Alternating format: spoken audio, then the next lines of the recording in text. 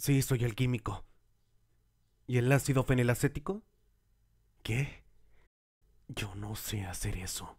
Yo tomo el ácido fenilacético del barril que tiene la abejita. Así es como lo hago. ¿Qué le sucede? Será mejor que si quiere aprender a hacer mi producto tendrá que hacerlo a mi manera, la manera correcta.